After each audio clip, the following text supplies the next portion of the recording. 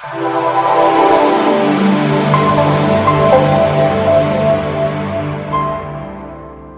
ਦਰਸ਼ਕਾਂ ਨੂੰ ਸੰਤੋਖ ਸਿੰਘ ਪੰਨੂ ਵੱਲੋਂ ਸਤਿ ਸ੍ਰੀ ਅਕਾਲ ਜੀ। ਪ੍ਰੋਗਰਾਮ ਲੈ ਕੇ ਹਾਜ਼ਰ ਹਾਂ ਵਗਦੇ ਪਾਣੀ ਤੇ ਅੱਜ ਸਰੋਤਿਓ ਅਸੀਂ ਪੰਜਾਬ ਦੀ ਧਰਤੀ ਤੇ ਕਰਤਾਰਪੁਰ ਵਿਖੇ ਪਹੁੰਚੇ ਹੋਏ ਹਾਂ।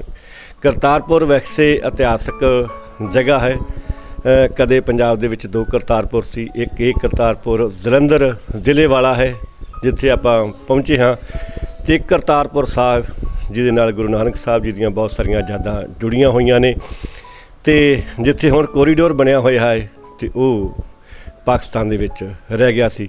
ਤੇ ਅੱਜ ਆਪਾਂ ਗੱਲਬਾਤ ਕਰਾਂਗੇ ਅਣਵੰਡੇ ਪੰਜਾਬ ਦੀ ਵੀ ਤੇ ਜਿਸ ਮਾਤਾ ਦੇ ਨਾਲ ਅਸੀਂ ਗੱਲਬਾਤ ਕਰਨ ਜਾ ਰਹੇ ਹਾਂ ਸੰਪੂਰਨ ਕੌਰ ਜੀ ਦੇ ਨਾਲ ਤੇ ਉਹਨਾਂ ਨੇ ਜਿਹੜਾ ਜਨਮ ਆ ਅਣਵੰਡੇ ਪੰਜਾਬ ਦੇ ਵਿੱਚ ਭਾਵ ਕਿ ਹੁਣ ਦੇ ਪਾਕਿਸਤਾਨ ਵਿੱਚ ਲਿਆ ਤੇ ਉਹਨਾਂ ਦੇ ਨਾਲ ਆਪਾਂ ਬਚਪਨ ਦੀਆਂ ਗੱਲਾਂ ਬਾਤਾਂ ਵੀ ਸਾਂਝੀਆਂ ਕਰਾਂਗੇ ਤੇ ਨਾਲ ਦੀ ਨਾਲ ਕਿੰਨਾ ਹਾਲਾਤਾਂ ਦੇ ਵਿੱਚ ਪੰਜਾਬੀ ਉਸ ਸਮੇਂ ਤੇ ਆਏ ਉਹ ਵੀ ਜਿਹੜੀਆਂ ਯਾਦਾਂ ਨੇ ਉਹ ਸਾਂਝੀਆਂ ਕਰਾਂਗੇ ਤੇ ਆਓ ਆਪਾਂ ਗੱਲਬਾਤ ਕਰਦੇ ਹਾਂ ਮਾਤਾ ਸੰਪੂਰਨ ਕੌਰ ਜੀ ਦੇ ਨਾਲ। ਲਓ ਜੀ ਦਰਸ਼ਕੋ ਅੱਜ ਅਸੀਂ ਪਹੁੰਚ ਚੁੱਕੇ ਹਾਂ ਮਾਤਾ ਸੰਪੂਰਨ ਕੌਰ ਜੀ ਦੇ ਕੋਲ ਕਰਤਾਰਪੁਰ ਵਿਖੇ ਤੇ ਆਓ ਆਪਾਂ ਉਹਨਾਂ ਦੇ ਨਾਲ ਗੱਲਾਂ ਬਾਤਾਂ ਸਾਂਝੀਆਂ ਕਰਦੇ ਹਾਂ। ਸਤਿ ਸ੍ਰੀ ਅਕਾਲ ਮਾਤਾ ਜੀ। ਸਤਿ ਸ੍ਰੀ ਅਕਾਲ। ਮਾਤਾ ਜੀ ਕਦੋਂ ਦਾ ਜਨਮ ਆਪਣਾ? ਹਾਂਜੀ। ਜਦੋਂ ਪਾਕਿਸਤਾਨ ਬਣਿਆ ਕਿੰਨੀ ਕੁ ਤੁਹਾਡੀ ਉਮਰ ਸੀਗੀ? ਉਦੋਂ ਮਤਲਬ ਤੀਸਰੀ ਕਲਾਸ ਚ ਪੜ੍ਹਦੇ ਸਾਂ ਇਹ ਨਹੀਂ ਪਤਾ ਉਮਰ ਕਿੰਨੀ ਕੁ ਹੋਏਗੀ। ਠੀਕ ਆ ਜੀ। ਹੋਏਗੀ 8-9 ਸਾਲ ਦੀ ਹੋਰ ਕਿੰਨੀ ਕੁ ਹੋਣੀ ਬਸ। ਠੀਕ ਆ ਜੀ। ਇਹਦਾ ਮਤਲਬ ਵੀ 8-9 ਸਾਲ ਦੇ ਬੱਚੇ ਨੂੰ ਸਾਰੀ ਸੰਭਾਲ ਹੁੰਦੀ ਆ। ਹਾਂਜੀ। ਤੇ ਕਿਹੜੇ ਪਿੰਡ ਦੇ ਵਿੱਚ ਰਹਿ ਰਹੇ ਸੀ ਤੁਸੀਂ? ਤੇ ਪਿੰਡ ਸੀ। ਅੱਛਾ ਜੀ। ਤੇ ਉਹ ਮਤਲਬ ਹੈਗਾ ਉੱਥੇ ਕੋਈ ਢੇਰੂ ਸੀ ਪਹਿਲਾਂ। ਜੀ। ਤੇ ਉਹ ਢੇਰੂ ਖੱਤਰੀ ਦੀ ਪੈਲੀ ਫੇਰ ਇਹਨਾਂ ਨੇ ਇਧਰੋਂ ਜਾ ਕੇ ਸਾਂਭੀ। ਜੀ। ਤੇ ਉਹ ਉਹਨਾਂ ਨੇ ਮੁੜ ਕੇ ਉਹ ਢੇਰੂ ਤੋਂ ਢੇ ਪਿੰਡ ਬਣ ਬਣ ਗਿਆ। ਠੀਕ ਹੈ ਤੇ ਨਾਲ ਗੋਤਾ ਸੀ। ਉੱਥੇ ਬੜਾ ਵੱਡਾ ਸਮੁੰਦਰ ਸੀ ਦਰਿਆ ਮਤਲਬ ਸਰੋਵਰ ਜਿਹਾ। ਉੱਥੇ ਬੱਚੇ ਬਹੁਤ ਮਰਦੇ ਸੀ। ਡੁੱਬ ਜਾਂਦੇ ਸੀ ਵਿੱਚ ਛਾਲਾਂ ਮਾਰਦੇ ਮਾਰ। ਉਹ ਵੀ ਪੂਰਿਆ ਗੋਤੇ ਵੀ ਸਕੂਲ ਸੀ ਦੋ। ਇੱਕ ਬੱਚਿਆਂ ਮੁੰਡਿਆਂ ਦਾ ਇੱਕ ਕੁੜੀਆਂ ਦਾ। ਮੁੰਡਿਆਂ ਦਾ ਜਾਂਦਾ ਰਸਤੇ ਤੇ ਪਹਿਲਾਂ ਆਉਂਦਾ ਸੀ ਕੁੜੀਆਂ ਦਾ ਜਾ ਕੇ ਛੇਕਰ ਦੇ ਇਸ ਪਾਸੇ ਆਉਂਦਾ ਸੀ। ਅਸੀਂ ਉੱਥੇ ਪੜ੍ਹਦੇ ਰਹੇ ਹਾਂ। ਤੇ ਤੁਹਾਡੀ ਤਹਿਸੀਲ ਕਿਹੜੀ ਪੈਂਦੀ ਸੀ? ਜ਼ਿਲ੍ਹਾ ਕਿਹੜਾ ਸੀਗਾ ਜੀ? ਹਾਂਜੀ? ਤਹਿਸੀਲ ਕਿਹੜੀ ਸੀਗੀ? ਜ਼ਿਆਦਾ? ਤਹਿਸੀਲ ਸਾਡਾ ਡਸਕਾ ਜੀ। ਜ਼ਿਲ੍ਹਾ ਸਿਆਲਕੋਟ। ਤੇ ਅੰਮ੍ਰਿਤਸਰ ਨਾ- ਨਾਰੋਵਾਲ ਮੇਰੇ ਪਿਤਾ ਜੀ ਲੱਗੇ ਰਹੇ ਫਿਰ ਸਬ ਰਜਿਸਟਰ ਪਹਿਲਾਂ ਕੈਪਟਨ ਰਿਟਾਇਰ ਹੋਏ ਫਿਰ ਸਬ ਰਜਿਸਟਰ ਉੱਥੇ ਲੱਗੇ ਰਹੇ। ਇੱਧਰ ਆਏ ਜੇ ਪਾਕਿਸਤਾਨ 'ਚ ਬਣ ਕੇ ਤੇ ਫਿਰ ਪਰਦੇ ਕੋਲ ਤੇ ਕੁਝ ਨਹੀਂ ਸੀ। ਨਾ ਮਤਲਬ ਕੋਈ ਪੈਸਾ ਨਾ ਧੇਲਾ ਪੈਸੇ ਬੈਂਕਾਂ 'ਚ ਰਹਿ ਗਏ। ਇੱਥੇ ਆਣ ਕੇ ਫਿਰ ਉਹ ਜਨਾਲੇ ਲੱਗੇ। ਜੀ। ਇਹ ਆਸਾ ਜੀ ਤੇ ਜਦੋਂ ਮਾਤਾ ਜੀ ਆਏ ਤੁਸੀਂ ਉੱਥੇ ਕੋਈ ਐਲਾਨ ਹੋਇਆ ਹੋਊਗਾ ਵੀ ਸਾਰੇ ਜਿਨ੍ਹਾਂ ਨੇ ਜਾਣਾ ਵਾ ਸਾਰਾ ਪਿੰਡ ਇਕੱਠਾ ਹੋ ਗਿਆ ਜਥਾ ਬਣਾ ਕੇ ਆਏ ਜੀ? ਉਹਨਾਂ ਨਹੀਂ ਕਿਸੇ ਨੂੰ ਪਤਾ ਵੀ ਨਿਕਲਣਾ ਕਿ ਨਹੀਂ ਨਿਕਲਣਾ ਸਿਰਫ ਇਹੋ ਹੀ ਆਂਸਨ ਫਿਰ ਰਾਤ ਬਾਹਰ ਕੱਢਣੀ ਹੈ ਅੱਛਾ ਜੀ। ਉਹ ਰਾਤ ਬਾਹਰ ਕੱਢਦੇ ਕੱਢਦੇ ਫਿਰ ਘਰ ਨਿਕਲ ਹੀ ਆਏ ਕਿ ਅਸੀਂ ਤਾਂ ਕੁਝ ਵੀ ਨਹੀਂ ਆਏ ਲੋਕੀ ਤੇ ਬੜੀਆਂ ਪੰਡਾਂ ਲੈ ਕੇ ਆਏ ਕੱਪੜਿਆਂ ਦੀਆਂ ਆਪਣੇ ਘਰਾਂ ਚੋਂ। ਪਾ ਕੋਈ ਭਾਂਡੇ ਚੁੱਕੀ ਆਵੇ ਕੋਈ ਕੱਪੜਿਆਂ ਦੀਆਂ ਪੰਡਾਂ ਚੁੱਕੀ ਆ ਅਸੀਂ ਇੱਕ ਗੜਵੀ ਤੇ ਇੱਕ ਗਲਾਸ ਮੇਰਾ ਇੱਕ ਵੀਰ ਛੋਟਾ ਸੀ। ਕੇਵਲ ਸਿੰਘ ਬਹੁਤਾ ਹੀ ਛੋਟਾ ਸੀ। ਉਹਦੇ ਕਰਕੇ ਇੱਕ ਗਲਾਸ ਤੇ ਗੜਵੀ ਲਈ ਸੀ ਵੀ ਸ਼ਾਇਦ ਕਿਤੇ ਬੱਚਿਆਂ ਨੂੰ ਕਿਤੇ ਪਾਣੀ ਪਿਲਾਉਣਾ ਪਏਗਾ ਜਾਂ ਦੁੱਧ ਮਤਲਬ ਕਿਸੇ ਕੋਲ ਲੱਗ ਕੇ ਪਿਲਾ ਲਾਂਗੇ। ਬਸ ਹੋਰ ਕੁਝ ਨਹੀਂ ਅਸੀਂ ਲੈ ਕੇ ਆਏ। ਗਲ ਦੇ ਕੱਪੜੇ ਤੇ ਇੱਕੋ ਗੜਵੀ ਤੇ ਇੱਕ ਗਲਾਸ। ਸਾਡੀ ਮਾਤਾ ਨੇ ਅਜੇ ਵੀ ਉਹ ਸਾਂਭ ਕੇ ਰੱਖਿਆ ਸੀ ਅੱਗੋਂ ਹੁਣ ਪਤਾ ਨਹੀਂ ਸਾਡੀਆਂ ਭਰਜਾਈਆਂ ਨੇ ਰੱਖੇ ਨੇ ਕਿ ਨਹੀਂ ਰੱਖੇ। ਉਹ ਤੇ ਫਿਰ ਮਾਤਾ ਜੀ ਤੁਸੀਂ ਉੱਥੇ ਤੀਸਰੀ ਕਲਾਸ 'ਚ ਪੜ੍ਹਦੇ ਸੀ ਜਦੋਂ ਅ, 15 ਅਗਸਤ 1947 ਨੂੰ ਦੇਸ਼ ਵੰਡਿਆ ਗਿਆ ਦੋ ਦੇਸ਼ ਬਣ ਗਏ ਪਹਿਲਾਂ ਸਾਰਾ ਭਾਰਤ ਸੀ ਹਿੰਦੁਸਤਾਨ ਸੀ ਤੇ ਪਾਕਿਸਤਾਨ ਨਵਾਂ ਦੇਸ਼ ਬਣ ਗਿਆ। ਤੇ ਉਦੋਂ ਜਦੋਂ ਤੁਸੀਂ ਸਕੂਲ ਦੇ ਵਿੱਚ ਪੜ੍ਹਦੇ ਸੀ ਉੱਥੇ ਤੁਹਾਨੂੰ ਪੰਜਾਬੀ ਦੇ ਵਿੱਚ ਪੜ੍ਹਾਇਆ ਜਾਂਦਾ ਸੀ ਜਾਂ ਉਰਦੂ ਦੇ ਵਿੱਚ ਪੜ੍ਹਾਇਆ ਜਾਂਦਾ ਸੀਗਾ ਜੀ? ਸਾਰੇ ਮਜਬੂਨ ਸਨ। ਉਰਦੂ ਵੀ ਸੀ ਇੰਗਲਿਸ਼ ਵੀ ਸੀ ਪੰਜਾਬੀ ਵੀ ਸੀ ਹਿੰਦੀ ਵੀ ਸੀ। ਜੀ। ਪਰ ਅਸੀਂ ਪੰਜਾਬੀ ਪੜ੍ਹਦੇ ਸੀ। ਅੱਛਾ ਜੀ। ਅਸੀਂ ਪੰਜਾਬੀ ਪੜ੍ਹੀ ਅਸੀਂ ਨਾ ਹਿੰਦੀ ਪੜ੍ਹੀ ਨਾ ਅੰਗਰੇਜ਼ੀ ਪੜ੍ਹੀ ਆ। ਉਹ ਇੱਥੇ ਆਣ ਕੇ ਸਗੋਂ ਨਿਆਣਿਆਂ ਕੋਲੋਂ ਵੇਖ ਵੇਖ ਕੇ ਕਈ ਵਾਰੀ ਪੜ੍ਹ ਪੁੜ ਰਹੀ ਹੈ ਜੀ। ਉਰਦੂ ਤੇ ਅੰਗਰੇਜ਼ੀ ਤੇ ਬਿਲਕੁਲ ਹੀ ਨਹੀਂ ਨਾ। ਠੀਕ ਹੈ ਜੀ। ਹਾਂਜੀ। ਤੇ ਫਿਰ ਜੋ ਤੁਸੀਂ ਉੱਥੋਂ ਆਏ ਆਪਦੇ ਪਿੰਡ ਤੋਂ ਤੁਰੇ ਹੋਗੇ ਜਥਾ ਤੁਹਾਡਾ ਤੁਰ- ਤੁਰਿਆ ਸਾਰੇ ਜਾਣੇ ਚਲੋ ਭਾਵੇਂ ਤੁਹਾਡੇ ਮਨਾਂ ਦੇ ਵਿੱਚ ਇਹ ਸੀ ਵੀ ਅਸੀਂ ਸ਼ਾਮ ਨੂੰ ਜਾਂ ਕੱਲ ਨੂੰ ਘਰ ਫੇਰ ਦੁਬਾਰਾ ਵਾਪਸ ਆ ਜਾਣਾ। ਤੇ ਤੁਹਾਨੂੰ ਇੱਧਰ ਆਉਣ ਵਾਸਤੇ ਜਦੋਂ ਤੁਸੀਂ ਅਜਨਾਲੇ ਦੇ ਲਾਗੇ ਆ ਕੇ ਰਹੇ ਕਿੰਨੇ ਦਿਨ ਲੱਗੇ ਰਸਤੇ ਦੇ ਵਿੱਚ? ਬਹੁਤ ਦਿਨ ਲੱਗੇ ਕਿ ਅਸੀਂ ਤਾਂ ਉੱਥੇ ਜਦੋਂ ਡੇਰਾ ਬਾਬਾ ਨਾਨਕ ਦਾ ਆਉਂਦਾ ਨਾ ਹਾਂਜੀ। ਤੇ ਉਹ ਪਿੱਛੇ ਪਹਿਲਾਂ ਕਰਤਾਰਪੁਰ ਆਉਂਦਾ। ਜੀ। ਉੱਥੇ ਅਸੀਂ ਬੈਠੇ ਰਹੇ ਆ ਪੂਰੇ 5 ਦਿਨ। ਮੀਂਹ ਪੈਂਦਾ ਰਿਹਾ ਥੱਲੇ ਉੱਤੇ ਤੇ ਆਪ ਥੱਲੇ ਉੱਥੇ ਪਹੁੰਚ ਬੈਠੇ ਰਹੇ ਹਾਂ, ਨਾ ਕੁਝ ਖਾਣ ਨੂੰ ਨਾ ਪੀਣ ਨੂੰ। ਬਸ ਬਿਲਕੁਲ ਐਸੀ ਦੀ ਕਸਾਲੀਆਂ ਜਦੋਂ ਅਸੀਂ ਇੱਧਰ ਆਏ ਆ ਤੇ ਸਾਡਾ ਨਾਨੀ ਨਾਨਾ ਅੱਗੇ ਵਿਚਾਰੇ ਤੇ ਫਿਰ ਅੱਗੇ ਉੱਥੇ ਇੱਕ ਬਾਪੂ ਜੀ ਦਾ ਸਾਡੇ ਦਾ ਪਿਤਾ ਜੀ ਦਾ ਦੋਸਤ ਸੀ ਬੜਾ। ਅੱਛਾ ਜੀ। ਪੱਕਾ ਦੋਸਤ ਹੈ ਮਤਲਬ ਮੋਨਾ ਸੀ। ਜੀ। ਹਿੰਦੂ ਲੋਕ। ਤੇ ਉਹ ਸਾਡੀ ਢੀਕ ਕਰਨ ਆ ਹੁਣ ਲੰਗਰ ਖੋਲਿਆ ਸੀ। ਸਾਨੂੰ ਵੇਖ ਕੇ ਤੇ ਉਹ ਟੱਡਾ ਮਾਰ ਕੇ ਰੋ ਪਿਆ। ਜੀ। ਰੋ ਕੇ ਤੇ ਫਿਰ ਸਾਨੂੰ ਆਪਣੇ ਅੰਦਰ ਵੇਲੀ ਚ ਲੈ ਗਿਆ। ਆਖਣਗਾ ਪ੍ਰਸ਼ਾਦੇ ਛਕੋ ਪਹਿਲਾਂ। ਉਦੋਂ ਤੇ ਫਿਰ ਜਿੰਨਾ ਸਾਡੇ ਨਾਲ ਜਥਾ ਹੈਗਾ ਸੋ ਸਾਰੇ ਪ੍ਰਸ਼ਾਦਾ ਛਕਦੇ ਸੀ। ਤੇ ਫਿਰ ਅਗਲੇ ਦਿਨ ਸਵੇਰੇ ਛਕਾ ਕੇ ਪ੍ਰਸ਼ਾਦਾ ਤੇ ਉਹਨਾਂ ਆਖਿਆ ਸੀ, ਹੱਥ ਜੋੜ ਕੇ ਹੁਣ ਤੁਸੀਂ ਆਪੋ ਆਪਣੀ ਥਾਂ ਹੀ ਚਲੇ ਜਾ। ਤੇ ਫਿਰ ਜੋ ਤੁਸੀਂ ਰਸਤੇ ਦੇ ਵਿੱਚ ਆਏ 5-7 ਦਿਨ ਤੁਹਾਨੂੰ ਹਫਤਾ ਲੱਗ ਗਿਆ ਆਉਂਦਿਆਂ ਰਸਤੇ 'ਚ ਰੁਕੇ ਰਹੇ, ਤੇ ਉੱਥੇ ਜਦੋਂ ਬੱਚੇ ਸੀਗੇ, ਆਪਸ ਵਿੱਚ ਗੱਲਾਂ ਬਾਤਾਂ ਵੀ ਕਰਦੇ ਹੋਣਗੇ, ਜਿਹੜੇ ਵੱਡੇ ਬੰਦੇ ਆ ਉਹ ਵੀ ਗੱਲਾਂ ਬਾਤਾਂ ਸਾਂਝੀਆਂ ਕਰਦੇ ਹੋਣਗੇ। ਤੇ ਕਿਹੋ ਜਿਹੀਆਂ ਗੱਲਾਂ ਬਾਤਾਂ ਹੁੰਦੀਆਂ ਸੀ ਕਿਹੋ ਜਿਹਾ ਡਰ ਹੁੰਦਾ ਸੀਗਾ ਵੀ ਕੀ ਮਤਲਬ ਹੋ ਸਕਦਾ? ਗੱਲਬਾਤ ਸਾਡੀਆਂ ਤੇ ਬਾਤੀਆਂ ਹੀ ਜੁੜ ਗਈਆਂ ਹਨ ਤੇ ਗੱਲਬਾਤ ਕੀ ਕਰਨਾ ਸੀ? ਤਿੰਨ ਦਿਨ ਭੁੱਖਿਆਂ ਰਹਿ ਕੇ ਨਾ ਪਾਣੀ ਨਾ ਰੋਟੀ ਨਾ ਕੋਈ ਚੀਜ਼। ਜੀ। ਤੇ ਜਿੱਥੇ ਦਿਹਾੜੀ 'ਚ ਦਸ ਵਾਰੀ ਤੇ ਦੁੱਧ ਹੀ ਪਿਆਉਂਦੇ ਹੁੰਦੇ ਸਨ ਮੱਝਾਂ ਰੱਖੀਆਂ ਹੋਈਆਂ ਹਨ। ਤੇ ਦੁੱਧਾਂ ਤੇ ਪਾਲਿਆ ਤੇ ਮੁੜ ਕੇ ਰੋਟੀ ਵੀ ਨਾ ਜੁੜੀ ਤੇ ਬਾਤੀਆਂ ਜਿਹੜੀਆਂ ਉਹ ਤੇ ਜੁੜੀ ਗਈਆਂ ਹਨ। ਜੀ। ਮੂੰਹ ਹੀ ਨਹੀਂ ਸੀ ਖੁੱਲਦਾ। ਜਦੋਂ ਅਸੀਂ ਬਾਬੇ ਪਹੁੰਚੇ ਆ ਰਮਦਾਸ ਸਾਡਾ ਮੂੰਹ ਨਹੀਂ ਸੀ ਖੁੱਲਦਾ ਉਸੇ। ਜੀ। ਡੇਰਾ ਸਾਹਿਬ ਜਦੋਂ ਪਹੁੰਚੇ ਆ ਰਮਦਾਸ ਤੇ ਬਾਅਦ ਚ ਆਉਂਦਾ ਪਹਿਲਾਂ ਡੇਰਾ ਸਾਹਿਬ ਆਉਂਦਾ ਅੱਛਾ ਮਾਤਾ ਜੀ ਤੁ- ਤੁ- ਜਦੋਂ ਤੁਸੀਂ ਤੁਹਾਡਾ ਜਿਹੜਾ ਜਥਾ ਸੀਗਾ ਰਸਤੇ 'ਚ ਤੁਰੇ ਆਏ ਆਉਂਦਿਆਂ ਹੋਇਆਂ ਕੋਈ ਤੁਸੀਂ ਕੱਟ ਵੱਢ ਹੋਈ ਬੰਦੇ ਵੇਖੇ ਵੀ ਆ ਕੋਈ ਮਰੇ ਵੀ ਵੇਖੇ ਆ? ਬਹੁਤ ਘੱਟ ਵੱਡ ਹੋਏ ਬੁੜ ਜਨਾਨੀਆਂ ਦੇ ਧੂ ਧੂ ਕੇ ਲੈ ਜਾਂਦੇ ਸੀ ਮੁਸਲਮਾਨ। ਤੇ ਉਹ ਤੇ ਇਦਾਂ ਗਿਰਜਾ ਵਾਂਗੂ ਪੈਂਦੇ ਸੀ ਅਸੀਂ ਬੈਠੇ ਸੀ ਨਾ ਸਾਰਾ ਜਥਾ ਉੱਥੇ ਬੈਠਾ ਘਟੋ ਘੱਟ 5-6 ਕਿਲੋਮੀਟਰ ਵਿੱਚ ਹੋਏਗਾ। ਜੀ। ਤੇ ਉਹ ਆਸੇ ਪਾਸੇ ਤੇ ਉਹ ਤੇ ਕੁੜੀਆਂ ਜਰਾ ਕੋ ਬੱਚਾ ਕੋਈ ਆਉਂ ਹੋਇਆ ਉਹਨੂੰ ਖਿੱਚ ਕੇ ਲੈ ਗਏ। ਜੇ ਕੋਈ ਔਰਤ ਹੋਈ ਉਹਨੂੰ ਲੈ ਗਏ ਖਿੱਚ ਕੇ ਬਸ ਇਹੋ ਹੋਏ ਕੁਝ ਹੁੰਦਾ ਰਿਹਾ। ਜਿੰਨਾ ਚਿਰ ਉੱਥੋਂ ਜਥਾ ਤੁਰਿਆ ਨਹੀਂ ਸਾਡਾ। ਬਿਲਕੁਲ ਜੀ ਇਸ ਇਸ ਤਰ੍ਹਾਂ ਸੀਗੀ ਜਥਿਆਂ ਦੇ ਵਿੱਚ ਵੀ ਆਸੇ-ਪਾਸੇ ਜਿਹੜੇ ਨੌਜਵਾਨ ਨਾਲ ਚੱਲ ਰਹੇ ਸੀਗੇ। ਤੇ ਉਹ ਪਹਿਰਾ ਵੀ ਦਿੰਦੇ ਹੁੰਦੇ ਸੀ ਕਿ ਆਸਿਓਂ ਪਾਸਿਓਂ ਕੋਈ ਜਥੇ ਤੇ ਹਮਲਾ ਨਾ ਕਰੇ ਜਾਂ ਕੋਈ ਧੀ ਭੈਣ ਨੂੰ ਨਾ ਲੈ ਜਾਵੇ। ਬੜੇ ਮਾੜੇ ਹਾਲਾਤ ਨੇ, ਪਤਾ ਨਹੀਂ ਉਹ ਕਿਹੋ ਜੀ ਆਵਾਜ਼ ਜਿਹੜੀ ਪੰਜਾਬ ਦੀ ਧਰਤੀ ਤੇ ਵਗੀ, ਜਿਹੜੇ ਇਕੱਠੇ ਰਹਿੰਦੇ ਸੀਗੇ ਤੇ ਉਹ ਇੱਕ ਦੂਜੇ ਦੇ ਦੁਸ਼ਮਣ ਬਣ ਗਏ। ਬਹੁਤ ਜ਼ਿਆਦਾ ਵੱਡਾ ਨੁਕਸਾਨ ਹੋਇਆ। ਹਾਂ, ਠੀਕ ਆ 15 ਅਗਸਤ 1947 ਨੂੰ ਸਾਡਾ ਦੇਸ਼ ਤਾਂ ਆਜ਼ਾਦ ਹੋ ਗਿਆ। ਅੰਗਰੇਜ਼ਾਂ ਤੋਂ ਤਾਂ ਅਸਾਂ ਹੀ ਆਜ਼ਾਦੀ ਲੈ ਲਈ, ਪਰ ਜੋ ਹਸ਼ਰ ਪੰਜਾਬ ਦਾ ਹੋਇਆ ਹੈ ਤੇ ਉਸ ਦੀ ਜਿਹੜੀ ਚੀਜ਼ ਆ, ਅੱਜ ਵੀ ਬਜ਼ੁਰਗਾਂ ਦੇ ਮਨਾਂ ਦੇ ਵਿੱਚੋਂ ਉੱਠਦੀ ਆ। ਕਿਉਂਕਿ ਬਹੁਤ ਜ਼ਿਆਦਾ ਨੁਕਸਾਨ ਹੋਇਆ, ਬਹੁਤ ਜ਼ਿਆਦਾ ਪਰਿਵਾਰਾਂ ਦੇ ਜੀ ਵਿਛੜ ਗਏ, ਕਈ ਲੱਭੇ ਹੀ ਨਹੀਂ, ਕਈ ਮਾਰੇ ਗਏ ਰਸਤਿਆਂ ਦੇ ਵਿੱਚ ਤੇ ਬੜੀ ਹੀ ਅਣਹੋਣੀ ਘਟਨਾ ਜਿਹੜੀ ਪੰਜਾਬ ਦੇ ਵਿੱਚ ਵਾਪਰੀ। ਤੇ ਮਾਤਾ ਜੀ, ਜਦੋਂ ਤੁਸੀਂ ਇੱਥੇ ਆ ਕੇ ਰਹੇ, ਤੁਸੀਂ ਦੱਸਿਆ ਕਿ ਤੁਸੀਂ ਤਾਂ ਆਪਦੇ, ਚਲੋ ਨਾਨਕੇ ਆ ਗਏ ਤੇ ਰੋਟੀ ਪਾਣੀ ਦੇ ਮਸਲੇ ਹੱਲ ਹੋ ਗਏ ਵੀ ਉਦੋਂ ਚਲੋ ਚੱਲਦਾ ਰਿਹਾ ਹੋਊਗਾ। ਤੇ ਮੁੜ ਕੇ ਤੁਹਾਨੂੰ ਜ਼ਮੀਨ ਜਿਹੜੀ ਕਿੱਥੇ ਲਾਟ ਹੋਈ ਕਿੱਥੇ ਤੁਹਾਡਾ ਪਰਿਵਾਰ ਆ ਕੇ ਰਿਹਾ? ਕਿਲਾ ਦੇਸਾ ਸਿੰਘ ਦਾ। ਉੱਥੇ ਬੈਠੇ ਆਣ ਕੇ। ਜੀ। ਨਹੀਂ ਪਹਿਲਾਂ ਤਾਂ ਗਏ ਆਪਣੇ ਨਾਨਕੇ ਹੀ। ਦੇਖੋ ਜੀ ਮਹੀਨਾ ਤੇ ਰਹੇ ਆ ਉੱਥੇ। ਤੇ ਅੱਧੇ ਜੀ ਚਲੇ ਗਏ ਸਾਡੇ ਭੂਆ ਜੀ ਵੱਲ। ਉਹ ਵੀ ਉਧਰ ਹੀ ਵਿਆਹੇ ਸੀ ਜਿਹੜਾ ਤਹਿਸੀਲ ਉਹਦੀ ਵੀ ਜਨਾਲਾ ਹੀ ਸੀ। ਤੇ ਪਿੰਡ ਰਾਪਰ ਮਤਲਬ ਰਾਮੀ ਦੇ ਕੰਢੇ ਸੀ। ਅੱਧੇ ਜੀ ਉੱਥੇ ਚਲੇ ਗਏ ਅੱਧੇ ਸਾਡੇ ਅਸੀਂ ਨਾਨਕੇ ਚਲੇ ਗਏ ਆਪਣੇ। ਅਜਨਾਲੇ ਖਾਸ ਸੀ। ਜੀ। ਤੇ ਬਾਕੀ ਫਿਰ ਜਦੋਂ ਰਹੇ 10-15 ਦਿਨ ਫਿਰ ਸਾਡੇ ਨਾਨੇ ਨੇ ਤਾਂ ਸਾਨੂੰ ਬਹੁਤ ਕੁਛ ਦੇ ਕੇ ਘੱਲਿਆ ਐਵੇਂ ਪਿਆ ਕਿ ਪੰਜ ਬੋਰੀਆਂ ਕਣਕ ਦੀਆਂ ਗੱਡੇ ਤੇ ਲੱਡੀਆਂ ਗੱਡਾ ਨਾਲ ਜੂਗਾ ਦੋ ਨਾਲ ਤਿੰਨ ਚਾਰ ਮੱਝਾਂ ਲਾਤੀਆਂ। ਭਾਵੇਂ ਚਲੋ ਉਹਨਾਂ ਭਾਵੇਂ ਖੁਰ ਮੁਸਲਮਾਨਾਂ ਦੀਆਂ ਸਾਮੀਆਂ ਹੋਣਗੀਆਂ। ਜੀ। ਤੇ ਮਤਲਬ ਦਿੱਤਾ ਸਾਨੂੰ ਉਹਨਾਂ ਨੇ। ਬਿਸਤਰੇ ਵੀ ਬਹੁਤ ਦਿੱਤੇ। ਬਿਸਤਰੇ ਵੀ ਨਵੇਂ ਜਿਹੜੇ ਮਤਲਬ ਪੇਟੀਆਂ ਤੋਂ ਕੱਢ ਕੇ ਵਰਤੇ ਨੇ ਲੋਕ। ਉਹ ਬਿਸਤਰੇ ਵੀ ਦਿੱਤੇ ਭਾਂਡੇ ਵੀ ਦਿੱਤੇ ਸਭ ਕੁਝ ਦੇ ਕੇ ਤੇ ਉਹਨਾਂ ਸਾਨੂੰ ਕੱਲ ਦਿੱਤਾ ਅਸੀਂ ਗੱਡੇ ਤੇ ਲੱਦ ਕੇ ਸਭ ਕੁਝ ਆਣ ਕੇ ਕਿਲਾ ਦੇਸਾ ਸਿੰਘ ਦਾ ਉੱਥੇ ਬੈਠੇ ਆ ਤੇ ਉੱਥੇ ਕਿਵੇਂ ਸਬਬ ਬਣਿਆ? ਜਿਹੜੇ ਤੁਹਾਡੇ ਬਜ਼ੁਰਗ ਸੀ ਜਾਂ ਜਿਹੜੇ ਵੱਡ ਵਡੇਰੇ ਸੀਗੇ ਉਹ ਉੱਥੇ ਪਹਿਲਾਂ ਕੋਈ ਸਾਂਝ ਸੀ ਜਾਂ ਕਿਸ ਤਰ੍ਹਾਂ ਉੱਥੇ ਗਏ ਜਾਂ ਵੈਸੇ ਹੀ ਉਹਨਾਂ ਨੇ ਕਿਹਾ ਵੀ ਇਹ ਜਗ੍ਹਾ ਜਿਹੜੀ ਵਧੀਆ ਵਾ? ਨਹੀਂ ਨਹੀਂ ਸਾਂਝ ਸੂੰਝ ਕੋਈ ਨਹੀਂ ਸੀ। ਉੱਥੇ ਕੋਈ ਸਾਂਝ ਨਹੀਂ ਸੀ ਪਿੰਡ ਦੇ ਵਿੱਚ ਜਿੱਥੇ ਅਸੀਂ ਜਾ ਕੇ ਬੈਠੇ ਆ ਉੱਥੇ ਸਿਰਫ ਜਾ ਕੇ ਉਹ ਪਿੰਡ ਦਾ ਹੀ ਮਥਾ ਨਾਂ ਹੀ ਸੁਣਿਆ ਸੀ ਕਿਲਾ ਦੇਸਾ ਸਿੰਘ ਦਾ। ਤੇ ਸਾਡੇ ਪਿਤਾ ਜੀ ਖੁਸ਼ ਹੋ ਗਿਆ ਤੇ ਮੇਰੇ ਦਾਦੇ ਦਾ ਨਾਂ ਹੈ ਦੇਸਾ ਸਿੰਘ। ਮੈਂ ਇੱਥੇ ਹੀ ਬਵਾਂਗਾ ਇਸੇ ਪਿੰਡ 'ਚ। ਫਿਰ ਅਸੀਂ ਉੱਥੇ ਹੀ ਬੈਠੇ ਹਾਂ ਉੱਥੇ ਸਾਡੀ ਪੈਲੀ ਲਾਟ ਹੋਈ। ਫਿਰ ਬਾਅਦ 'ਚ ਫਿਰ ਉੱਥੋਂ ਨਾ ਪੁੱਟ ਪੱਟ ਕੇ ਸਾਨੂੰ ਫਿਰ ਕੀੜੀ ਪਠਾਣਾ ਨਹੀਂ ਭੇਜ ਦਿੱਤਾ। ਵੀ ਤੁਹਾਡੀ ਅਸਲੀ ਮਾਲਕੀ ਜਿਹੜੀ ਉਹ ਕੀੜੀ ਬਣੇਗੀ?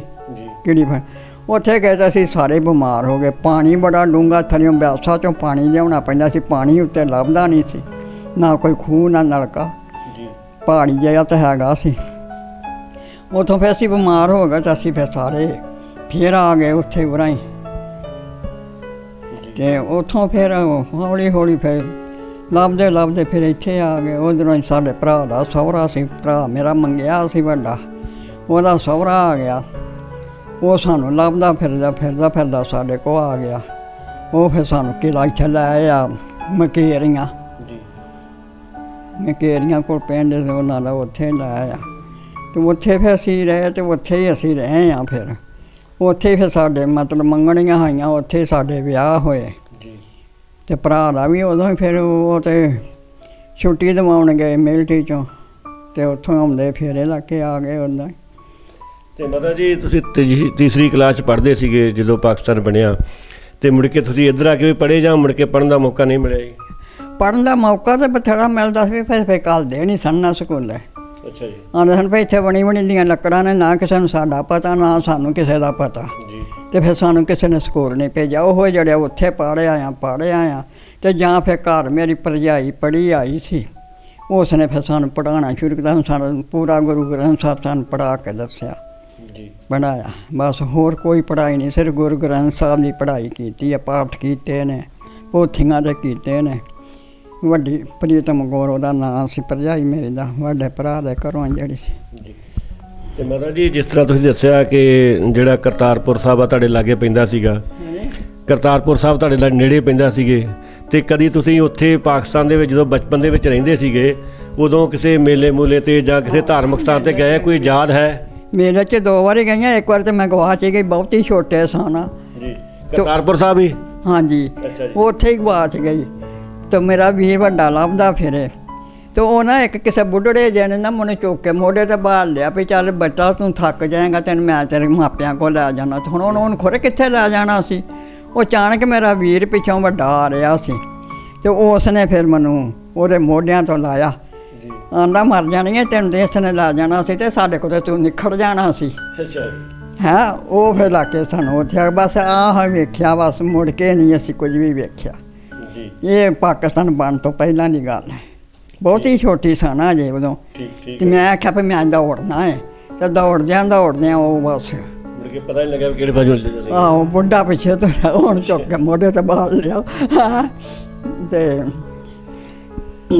ਬਸ ਆਇਆ ਹੋਈ ਕੁਝ ਹੋਇਆ ਬਸ ਉਹ ਸਾਰੀ ਗਲਤੀ ਵੀ ਸਾਡੇ 'ਚ ਕੋਈ ਨਹੀਂ ਹੋਈ।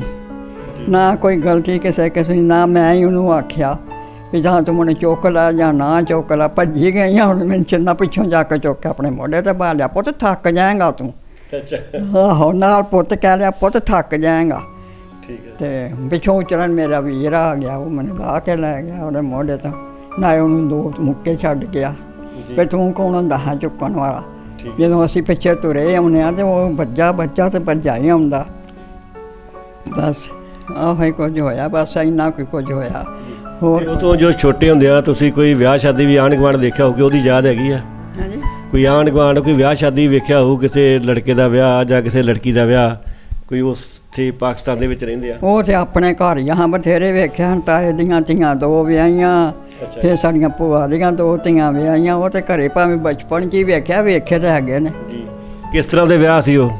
ਬਾਹਰ ਬਰਾਤਾਂ ਆਉਂਦੀਆਂ ਵਾਜੇ ਵੱਜਦੇ ਸ਼ਰਾਬਾਂ ਪੀਂਦੇ ਪੁੱਠੇ ਸਿੱਧੇ ਹੁੰਦੇ ਹੋਰ ਜਿਹੜਾ ਕੰਮ ਹੁੰਦਾ ਬਰਾਤੀਆਂ ਦਾ ਹੋਰ। ਠੀਕ ਹੈ। ਤੇ ਬੀਬੀਆਂ ਗਾਉਂਦੀਆਂ ਕਿੰਨਾ ਕੁ ਸੀ? ਹੈ ਜੀ? ਗਾਉਂਦੀਆਂ ਕਿੰਨਾ ਸੀ ਵਿਆਹਾਂ ਤੇ? ਜਿਹੜੀਆਂ ਬੀਬੀਆਂ ਕਿੰਨਾ ਕੁ ਗਾਉਂਦੀਆਂ ਸੀ ਗੀਤ ਕਿੰਨੇ ਗਾਉਂਦੀਆਂ ਸੀ ਘੋੜੀਆਂ ਸੁਹਾਗ ਆਦੂ ਘੋੜੀਆਂ ਗੀਤ ਗਾਉਂਦੇ ਹੁਣ ਸਾਨੂੰ ਹੁਣ ਇੰਨੇ ਯਾਦ ਨਹੀਂ ਨਾ ਹੈਗੇ। ਕੋਈ ਇੱਕ ਅੱਧਾ ਯਾਦ ਹੈ ਕੋਈ ਇੱਕ ਅੱਧੀ ਲਾਈਨ ਕੋਈ ਸੁਹਾਗ ਜਾਂ ਕੋਈ ਜਿਹੜਾ ਘੋੜੀ ਕੋਈ? ਜੇ ਵੀਰਾ ਚੜਿਆ ਘੋੜੀ ਨਹੀਂ ਭੈਣੇ ਭੈਣਾਂ ਨੇ ਵਾਗ ਗੁੰਦੀਆਂ ਨੇ। ਬਸ ਇੰਨਾ ਕੋਈ ਪਤਾ ਹੈਗਾ, ਹੋਰ ਤਾਂ ਕੋਈ ਪਤਾ ਨਹੀਂ ਹੈਗਾ ਕੀ ਕੁਝ ਗਾਉਂਦੇ ਹਨ ਤੇ ਕੀ ਨਹੀਂ ਸਨ। ਤਾਂ ਆਪਾਂ ਤੇ ਇਧਰ ਆਣ ਕੇ ਨਾ ਕਿਸੇ ਦੇ ਸਾਡੇ ਵਿਆਹ ਹੋਏ, ਉਹ ਤਾਂ ਫੜ ਫੜ ਕੇ ਸਮਝੋ, ਕਿਸੇ ਦੀਆਂ ਕੁੜੀਆਂ ਤੇ ਜਾਂ ਤਾਂ ਕੁੜੀਆਂ ਫੜ ਕੇ ਲੈ ਆਉਂਦੀਆਂ ਬਸ। ਨਾ ਕਿਸੇ ਦਾ ਕੋਈ ਗਾਉਣ ਬੈਠਾ, ਨਾ ਕਿਸੇ ਦਾ ਕੋਈ ਸੁਹਾਗ ਗਾਉਣ, ਨਾ ਘੋੜੀਆਂ ਗਾਉਣ।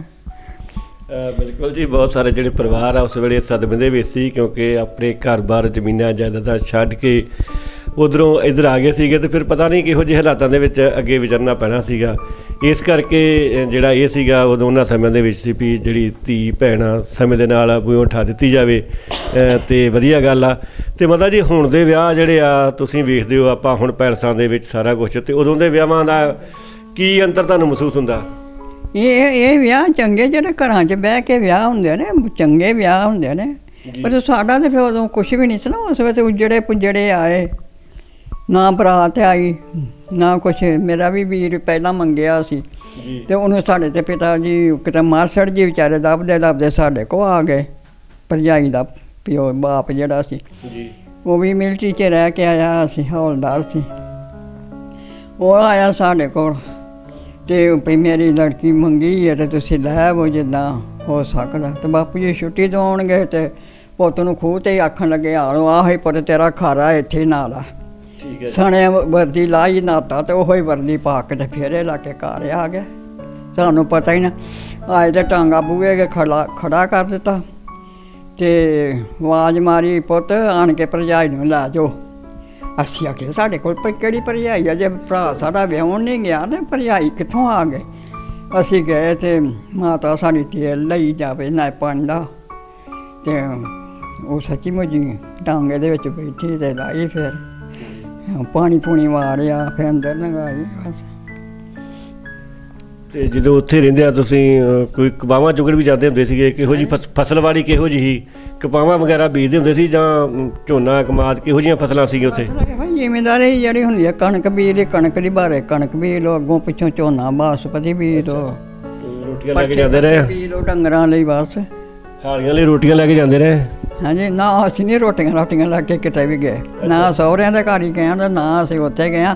ਹਾਂ ਕਪਾਹ ਚਗਾਉਣ ਜ਼ਰੂਰ ਜਾਈਦਾ ਸੀ ਉਹ ਵੀ ਕਿਉਂ ਚੋਣੀਆਂ ਦੇ ਮਗਰ ਧਿਆਨ ਰੱਖਣਾ ਹੁੰਦਾ ਸੀ ਕਿ ਉਹ ਕਪਾਹ ਜੀ ਕਰੇ ਚੁਗਦੇ ਚੁਗਦੀਆਂ ਝੋਲੀ ਲਾ ਕੇ ਤੇ ਕਪਾਹ 'ਚ ਹੀ ਰੱਖ ਦਿੰਦੀਆਂ ਹਨ ਲਗਾ ਕੇ ਮੁੜ ਕੇ ਪਿੱਛੋਂ ਲੈ ਆਉਣੀ। ਜੀ। ਤੇ ਉਹਦੇ ਕਰਕੇ ਜਾਣਾ ਪੈਂਦਾ ਸੀ।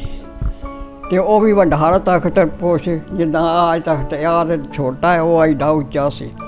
ਤੇ ਉਹਦੇ ਤੇ ਜਾ ਕੇ ਹਾਂ ਬਹਿ ਜਾਣਾ ਕਿੱਕਰ ਦੀ ਛਾਵੇਂ। ਤੇ ਉਹਨਾਂ ਕਪਾਹ ਚੁਗਦੀਆਂ ਰਹਿਣਾ। ਤੇ ਜਦੋਂ ਉਹਨਾਂ ਚੁੱਕ ਲੈਣ ਫਿਰ ਜਿਉਂ ਇੱਕ ਬੰਨਿਓ ਫਿਰਦਿਆਂ ਫਿਰਦਿਆਂ ਸਾਰੀ ਪੈੜੀ ਫੇਰ ਕੇ ਤੇ ਤੇ ਕਿਤੇ ਲਾ ਕੇ ਨਾ ਰੱਖੀ ਆ। ਤੇ ਲੈ ਆਉਣੀ ਘਰ। ਬਸ। ਹੋਰ ਅਸੀਂ ਕੰਮ ਆਪਣੀ ਹੱਥੀਂ ਕੁਛ ਨਹੀਂ ਕੀਤਾ। ਜੀ। ਖੇਤਾਂ ਦੇ ਵਿੱਚ ਜਾ ਕੇ। ਕਰਨ ਵਾਇਆ ਕਰਨ ਨਾ ਕਰਨ। ਤੇ ਮਾਤਾ ਜੀ ਪੁਰਾਣੇ ਸਮਿਆਂ ਦੇ ਵਿੱਚ ਜਿਹੜੀ ਬਜ਼ੁਰਗਾਂ ਦੀ ਇੱਜ਼ਤ ਮਾਣ ਘਰ ਦੇ ਵਿੱਚ ਬਹੁਤ ਜ਼ਿਆਦਾ ਹੁੰਦਾ ਸੀਗਾ। ਹਾਂਜੀ। ਘਰ ਦੇ ਵਿੱਚ ਬਜ਼ੁਰਗਾਂ ਦਾ ਇੱਜ਼ਤ ਮਾਣ ਪਹਿਲਾਂ ਬਹੁਤ ਜ਼ਿਆਦਾ ਹੁੰਦਾ ਸੀਗਾ। ਉਦਾਂ ਹੀ ਰਿਵਾਜ ਸੀ। ਤੇ ਤੁਹਾਡੇ ਜਿਹੜੇ ਪੋਤੇ ਪੁੱਤਰੀਆਂ ਕਿੰਨਾ ਕੁ ਤੁਹਾਡਾ ਇੱਜ਼ਤ ਮਾਣ ਕਰਦੇ ਹੁਣ? ਉਹ ਬਥੇਰਾ ਕਰਦਾ ਜਿੰਨਾ ਕੁ ਜੋਗੇ ਹੈਗੇ ਨੇ ਵਿਚਾਰੇ ਕਰਦੇ ਹੀ ਆ ਬਹੁਤ ਮਾਣ ਕਰਦੇ ਆ ਬੋਲਦੇ ਨਹੀਂ ਅੱਗੋਂ ਕੋਈ ਵੀ। ਅੱਛਾ ਜੀ। ਹਾਂ ਨਾ ਕੋਈ ਨਹੀਂ ਬੋਲਦੇ। ਬਸ ਸੇਵਾ ਵੀ ਕਰਦੇ ਨੇ ਚਾਹ ਪਾਣੀ ਦੀ ਪਾਣੀ ਨਹਾਉਣ ਲਈ ਕੱਪੜੇ ਧੋਣ ਲਈ। ਤੇ ਕੱਪੜੇ ਪਰ ਮੈਂ ਆਪਣੇ ਅੱਜ ਆਪੇ ਹੀ ਧੋਨੀ ਆ ਭਾਵੇਂ ਪਾਣੀ ਲਿਆ ਕੇ ਦੇ ਦਿੰਦੇ ਨੇ। ਅੱਛਾ ਜੀ। ਆਪਣੇ ਗੱਲ ਦੇ ਮੈਂ ਉਹ ਨਹੀਂ ਅਜੇ ਕਿਸੇ ਕੋ ਵੀ ਧੋਆਏ। ਨਾ ਧੀਆਂ ਕੋ ਤੇ ਨਾ ਨੂੰਹਾਂ ਕੋ ਜੀ। ਹੋਰ ਪਾਣੀ ਵਾਧੂ। ਹੋਰ? ਚਲੋ ਚੰਗੀ ਗੱਲ ਆ ਜੀ ਪ੍ਰਮਾਤਮਾ ਜਿਹੜੇ ਹੱਥ ਪੈਰ ਚੱਲਦੇ ਰੱਖੇ ਤੇ ਇਨਸਾਨ ਜੇ ਆਪਦਾ ਕੰਮ ਆਪ ਹੀ ਕਰੀ ਜਾਵੇ ਤੇ ਸਭ ਤੋਂ ਚੰਗੀ ਗੱਲ ਹੁੰਦੀ ਆ।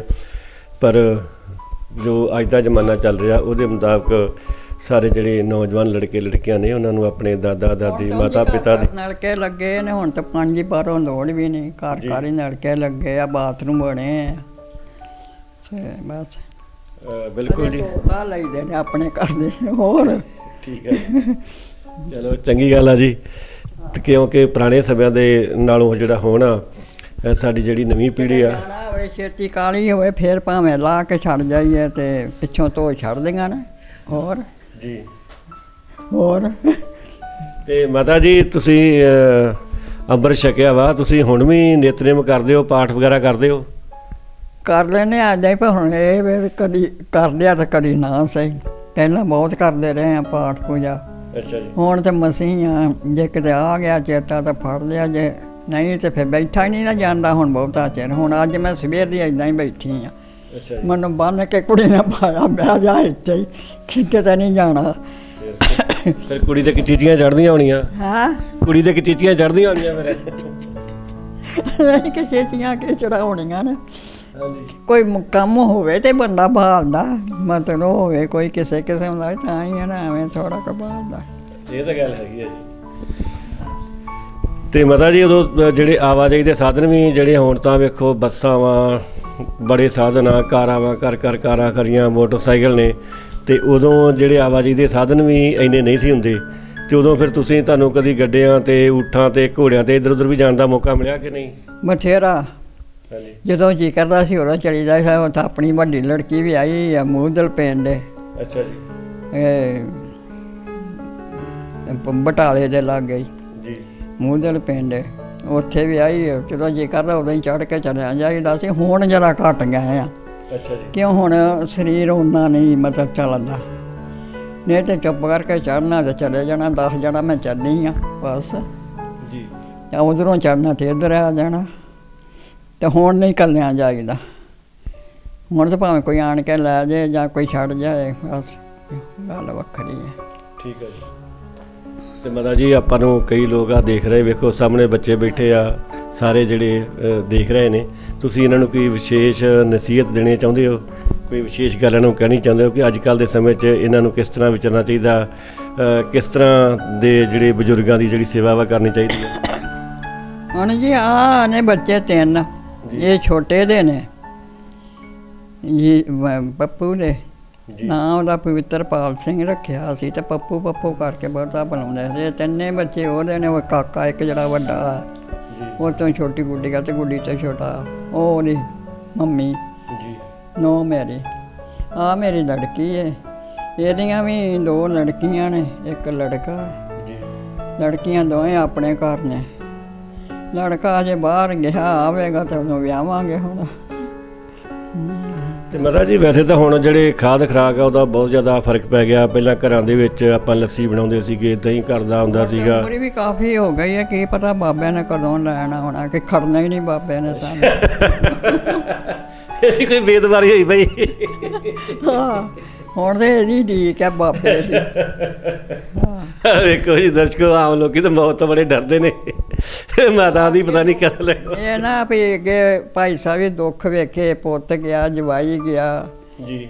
ਤੇ ਤੁਹਾਨੂੰ ਪਤਾ ਉਹ ਫਿਰ ਜਿਹੜੇ ਦੁੱਖ ਹੁੰਦੇ ਨੇ ਉਹ ਫਿਰ ਉੱਠਣ ਜੋਗਾ ਥੋੜਾ ਚੜਦੇ ਨੇ। ਜੀ।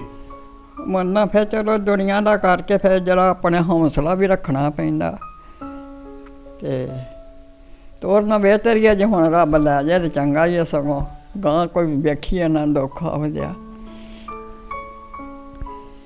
ਉਮਰ ਵੀ ਹੁਣ ਬਥੇਰੀ ਹੋ ਗਈ ਹੈ ਕਿ ਉਮਰ ਕਿਹੜੀ ਥੋੜੀ ਹੈ ਬਿਲਕੁਲ ਜੀ, ਜਿਹੜਾ ਜੰਮਿਆ ਉਸਨੇ ਇਸ ਦੁਨੀਆ ਤੋਂ ਜਾਣਾ ਤਾਂ ਹੈ ਹੀ ਆ ਤੇ ਇਹ ਤਾਂ ਤਕਰੀਬਨ ਆਮ ਜਿਹੜੀ ਅੱਗੇ ਬਜ਼ੁਰਗ ਅਰਦਾਸ ਕਰਦੇ ਸੀ, ਮਹਾਰਾਜ ਸੱਚੇ ਪਾਤਸ਼ਾਹ ਚੱਲਦੇ ਫਿਰਦੇ ਲੈ ਤੇ ਇਹੀ ਮਾਤਾ ਦੀ ਜਿਹੜੀ ਭਾਵਨਾ ਹੈਗੀ ਆ ਕਿ ਮੰਜੇ ਤੇ ਨਾ ਪੈਣਾ ਪਵੇ। ਤੇ ਚਲੋ, ਕਿਉਂਕਿ ਜਿਹੜੀ ਪਰਮਾਤਮਾ ਦੀ ਕੁਦਰਤ ਆ, ਇਹ ਤਾਂ ਜਿਹੜਾ ਜੰਮਿਆ ਵਾ ਉਹਨੇ ਆਖਰ ਨੂੰ ਜਿਹੜਾ ਜਾਣਾ ਹੀ ਹੈਗਾ। ਇਹਦੇ ਬਾਰੇ ਕਦੋਂ ਕਿਹਦੀ ਆ ਇਹ ਕੋਈ ਪਤਾ ਨਹੀਂ ਹੁੰਦਾ। ਇਹ ਤਾਂ ਉਹ ਵਾਹਿਗੁਰੂ ਹੀ ਜਾਣਦਾ। ਦਾਦੀ ਦਾਦਾ ਛੱਡ ਆਏ ਪਿੱਛੇ ਹੀ। ਦਾਦਾ ਵਿਚਾਰਾ ਅੱਖਾਂ ਤੋਂ ਕਮਜ਼ੋਰ ਸੀ। ਜੀ। ਨਾ ਕਾਫੀ ਹੋ ਗਈ ਸੀ ਉਮਰ ਉਹਨਾਂ ਦੀ। ਉਹ ਤੇ ਫਿਰ ਹੁਣ ਆ ਹੀ ਨਹੀਂ ਸਨ ਸਕਦਾ ਤੇ ਮੰਜੇ ਤੇ ਲੰਮੇ ਪਏ ਰਹਿੰਦੇ ਸੀ। ਦਾਦੀ ਸਾਡੀ ਉਹਦੇ ਕਰਕੇ ਨਾ ਆਈ। ਵੀ ਲੋਕੀ ਆ। ਉੱਥੇ ਉੱਥੇ ਪਿੰਡ ਹੀ ਰਹਿ ਗਏ ਜੀ। ਹਾਂਜੀ? ਦਾਦਾ ਦਾਦੀ ਉੱਥੇ ਹੀ ਰਹਿ ਗਏ। ਉੱਥੇ ਰਹਿ ਗਏ ਪਾਕਿਸਤਾਨ 'ਚ। ਮੁੜ ਕੇ ਉਹਨਾਂ ਦਾ ਕੋਈ ਪਤਾ ਨਹੀਂ ਲੱਗਿਆ ਜੀ। ਮੁੜ ਕੇ ਸਾਡੀ ਦਾਦੀ ਨੇ ਤਾਂ ਗੁਲਾ ਮਾਰ ਦਿੱਤਾ ਸੀ। ਅੱਛਾ ਜੀ। ਪਿੰਡ ਦਿਆਂ ਨੇ ਮੁਸਲਮਾਨਾਂ ਨੇ। ਅੱਛਾ ਜੀ। ਪਹਿਲਾਂ ਤੇ ਸਾਡੇ ਨਾਲ ਤੇ ਆਈ ਨਹੀਂ। ਬੜਾ ਦੋ ਵਾਰੀ ਘੋੜੀ ਲੈ ਕੇ ਗਲੀ 'ਚ ਗਏ ਨੇ। ਉਹ ਪਿੰਡ ਦੇ ਵਿੱਚ ਸੀ ਘਰ ਸਾਡਾ। ਤੇ ਨਹੀਂ ਆਏ। ਹਾਂਜੀ ਤੇ ਬਾਅਦ ਚ ਜਦੋਂ ਫਿਰ ਮਤਲਬ ਫੌਜੀ ਜਾਂਦੇ ਹਨ ਨਾ ਲੈਣ ਵਾਸਤੇ ਜਿਹੜੇ। ਉਧਰ ਬਜ਼ੁਰਗ ਰਹਿ ਗਏ ਸਨ। ਜੀ। ਉਹਨਾਂ ਨੂੰ ਲੈਣ ਵਾਸਤੇ ਜਾਂਦੇ ਹਨ। ਤੇ ਉਹ ਗਏ ਤੇ ਇਹਨੇ ਕੀਤਾ ਸਾਡੀ ਦਾਦੀ ਨੇ ਉਹ ਕਿਤੇ ਆਪਣਾ ਮਰਨ ਜੀਵਨ ਜਿਹੜਾ ਰੱਖਿਆ ਸੀ। ਕੋਈ ਜੇਵਰ ਸੀ ਕੋਈ ਚਾਂਦੀ ਦੇ ਰੁਪਈਆ ਹਨ ਵਾਵਾ ਨੇ ਸਾਰੇ। ਉਹ ਗੰਢ ਕੱਢ ਕੇ ਤੇ ਕੱਚ 'ਚ ਦੇ ਕੇ ਤੇ ਬਾਹਰ ਆਈ। ਤੇ ਉੱਥੇ ਅੱਗੇ ਨਾਲ ਮੁਸਲਮਾਨ ਵੀ ਸਨ ਖੜੇ। ਤੇ ਪੁਲਿਸ ਵੀ ਤੇ ਭਾਵੇਂ ਇਧਰੋਂ ਗਈ ਸੀ ਤੇ ਭਾਵੇਂ ਉਹਦੇ ਸੀ ਰੜੇ ਹੁੰਦੇ ਨੇ ਆਪੋ 'ਚ। ਜੀ। ਉਹ ਉਹਨਾਂ ਗੰਢ ਖੋਲ ਲਈ। ਤੇ ਮਾਈ ਨੇ ਵੜ ਦਿੱਤਾ ਵੀ ਹੁਣ ਜੇ ਇਦਾਂ ਚਲੇ ਗਏ ਤੇ ਇਹਨੂੰ ਉਧਰ ਜਾ ਕੇ ਦੱਸ ਦੇਣਾ ਪੁੱਤ, ਆਪਣੇ ਨੂੰ ਤਾਂ ਪੋਤਰੇ ਨੂੰ। ਹੁਣ ਵੱਡਾ ਪੋਤਰਾ ਜਿਹੜਾ ਸੀ, ਵੱਡੇ ਪੁੱਤ ਦਾ ਪੋਤਰਾ ਸੀ, ਮੁੰਡਾ ਸੀ, ਉਹ ਵੀ ਮਤਲਬ ਮਿਲਟਰੀ ਚ ਸੀ। ਸਾਡੇ ਪਿਤਾ ਜੀ ਵੀ ਮਿਲਟਰੀ। ਤੇ ਉਹ ਡਰਦਿਆਂ ਨੇ ਉਹਨੂੰ ਮਾਏ ਮਾਤਾ ਨੂੰ ਵੜ ਦਿੱਤਾ। ਸਿਰ ਵੱਖਰਾ ਕਰਤਾ ਤੇ ਮੈਰੀਆਂ ਦੋ ਤਿੰਨ ਕੋਲ ਖਲੋਤੀਆਂ ਰਹਿ ਗਈਆਂ ਤੇ ਉਹ ਵਿਚਾਰੀਆਂ ਆਪ ਕੰਬਣ। ਇਹ ਨਾ ਲਿਆਉਣੀ ਖਾਂ ਤੇ ਜੇ ਲਿਆਉਣਾ ਹੀ ਸੀ ਤੇ ਪਹਿਲਾਂ ਹੀ ਪੁੱਤਾਂ ਨੂੰ ਨੂੰ ਦੇ ਛੱਡਦੀ। ਤੇ ਜੇ ਹੁਣ ਲਿਆ ਕੇ ਆਈ ਤੇ ਨਾ ਲਾ ਕੇ ਨਾ ਹੋਣੀ ਤੇ ਆਪ ਬਚਾ ਆਪ ਤੇ ਬਚ ਜਾਂਦੀ। ਉਹਨਾਂ ਫਿਰ ਸਾਨੂੰ ਮੈਰੀਆਂ ਨੇ ਆਣ ਕੇ ਦੱਸਿਆ ਕਿ ਉਹਦੇ ਨਾਲ ਆਹ ਹਾਲਤ ਹੋਈ। ਤੇ ਦਾਦੇ ਦਾ ਕੋਈ ਪਤਾ ਨਹੀਂ ਲੱਗਿਆ ਜੀ? ਉਹਦਾ ਨਹੀਂ ਕੋਈ ਪਤਾ ਲੱਗਾ ਉਹਨਾਂ ਦਾ। ਉਹ ਉਂਝ ਹੀ ਮੁੱਕ ਗਏ ਹੁਣੇ ਨਾ ਉਹ ਤੇ ਰਹਿੰਦੇ ਹੀ ਮੰਜੀ ਤੇ ਸਨ। ਅੱਛਾ ਜੀ। ਲੰਮੇ ਪਏ ਰਹਿੰਦੇ ਹਨ ਮੰਜੀ ਤੇ ਹੀ। ਉਠਾ ਕੇ ਬਾਲਣਾ ਢੋ ਦੇ ਕੇ ਬਾਲਣਾ ਉਹਨਾਂ ਨੂੰ। ਤੇ ਪ੍ਰਸ਼ਾਦਾ ਛਕਾਉਣਾ। ਮੁਰਕੀਆਂ ਕਰਕੇ ਰੱਖ ਦੇਣੀਆਂ ਫਿਰ ਉਹਨਾਂ ਲਾ ਲਾ ਕੇ ਖਾਣੀਆਂ। ਮੁਰਕੀਆਂ ਵੀ ਨਹੀਂ ਸਨ ਟੁੱਟਦੀਆਂ ਹੱਥ ਕੰਬਦੇ ਸਨ। ਇੰਨੇ ਬਜ਼ੁਰਗ ਸਨ ਮਤਲਬ। ਮਾਤਾ ਜੀ ਨਾਮ ਜ਼ਿਆਦਾ ਦਾਦੇ ਦਾਦੀ ਦਾ। ਹਾਂਜੀ? ਨਾਮ ਜ਼ਿਆਦਾ। ਦਾਦੇ ਦਾ ਕੀ ਨਾਮ ਸੀ? ਦਾਦੀ ਦਾ ਕੀ ਨਾਮ ਸੀ? ਯਾਦ ਆ ਜੀ ਹੁਣ? ਹਾਂਜੀ ਧਰਮ ਕੌਰ ਸਾਡੀ ਦਾਦੀ ਦਾ ਨਾਂ। ਅੱਛਾ ਜੀ। ਤੇ ਦਾਦੇ ਦਾ ਨਾਂ ਭੁੱਲ ਗਿਆ। ਕੇਸਰ ਸਿੰਘ। ਕੇਸਰ ਸਿੰਘ। ਹਾਂਜੀ ਕੇਸਰ ਸਿੰਘ ਨਾਂ ਤੇ ਮਾਤਾ ਜੀ ਜਦੋਂ ਤੁਸੀਂ ਛੋਟੇ ਹੋਗੇ ਪਹਿਲਾਂ ਆਮ ਪਿੰਡਾਂ ਦੇ ਵਿੱਚ ਇਹ ਰਿਵਾਜ ਚੱਲਦਾ ਸੀਗਾ ਕਿ ਬਜ਼ੁਰਗ ਆਪਣੇ ਕੋਲੇ ਬੈਠ ਕੇ ਦਾਦਾ ਦਾਦੀ ਕੋਲੇ ਕਹਾਣੀਆਂ ਸੁਣਨੀਆਂ ਬਾਤਾਂ ਸੁਣਨੀਆਂ। ਤੁਹਾਡੀ ਦਾਦੀ ਵੀ ਕੋਈ ਬਾਤਾਂ ਕੋਈ ਜਿਹੀਆਂ ਕਹਾਣੀਆਂ ਸੁਣਾਉਂਦੀ ਹੁੰਦੀ ਸੀ? ਕਹਾਣੀਆਂ ਸਾਡੀ ਦਾਦੀ ਦੱਸਦੀ ਹੁੰਦੀ ਸੀ। ਜੀ। ਦਾਦੀ ਨੇ ਦੱਸਣੀਆਂ ਦਾਦਾ ਤਾਂ ਵਿਚਾਰਾ ਅੰਜ ਅੱਖਾਂ ਤੋਂ ਵੀ ਕਮਜ਼ੋਰ ਸਨ ਅੱਖਾਂ ਤੋਂ। ਦਿਖਦਾ ਨਹੀਂ ਸੀ। ਉਦਾਂ ਗੱਲਾਂ ਬਾਤਾਂ ਕਰਨੀਆਂ ਹੱਸਦੇ ਖੇਡਦੇ ਹੁੰਦੇ ਸਨ। ਇਹ ਤੇ ਨਹੀਂ ਵੀ ਨਹੀਂ ਬੱਚਿਆਂ ਨਾਲ ਪਿਆਰ ਬਥੇਰਾ ਕਰਦੇ ਹਨ। ਤੇ ਕੋਈ ਦਾਦੀ ਦੀ ਦੱਸੀ ਕਹਾਣੀ ਕੋਈ ਯਾਦ ਆ? ਹਾਂਜੀ। ਕੋਈ ਜਿਹੜੀ ਦਾਦੀ ਨੇ ਕਹਾਣੀ ਤੁਹਾਨੂੰ ਸੁਣਾਈ ਹੋਵੇ ਉਹ ਕੋਈ ਯਾਦ ਹੈਗੀ ਆ? ਹੁਣ ਉਹ ਤੇ ਕੋਈ ਯਾਦ ਨਹੀਂ ਆ। ਹੋਈ ਹੋਈ ਕਹਾਣੀਆਂ ਸੁਣਾਉਂਦੇ ਹੁੰਦੇ ਸਨ। ਜੀ। ਕੁੜੀਆਂ ਦੇ ਵਿਆਹਾਂ ਦਾ ਗਾਉਣ ਇੱਕ ਸੁਣਾਉਂਦੇ ਹੁੰਦੇ ਸਨ। ਉਹ ਵੀ ਹੁਣ ਭੁੱਲ ਗਿਆ ਆਪ ਬਚਦਾ ਚਲੋ ਜਿੰਨਾ ਕੁ ਆਉਂਦਾ ਉਹਨਾਂ ਕੁ ਸੁਣਾ ਦਿਓ। ਹੁਣ ਐਸ ਵੇਲੇ ਤਾਂ ਕੁਝ ਵੀ ਨਹੀਂ ਹੋਣਾ ਹੁੰਦਾ ਹੁਣ ਤਾਂ ਸਭ ਕੁਝ ਭੁੱਲਾ ਪਿਆ। ਅੱਛਾ ਜੀ। ਹਾਂ। ਬਿਲਕੁਲ ਜੀ ਇਹੀ ਜਿਹੜੇ ਵੰਡ ਦੇ ਦਰਦ ਨੇ ਜਿਹੜੀ ਸਾਡੀ ਦਾਦੀ ਸੀ ਉਹਨਾਂ ਦੀ ਮਾਤਾ ਜੀ ਉਹ, ਹਡਿਆਰੇ ਰਹਿ ਗਈ ਸੀਗੀ।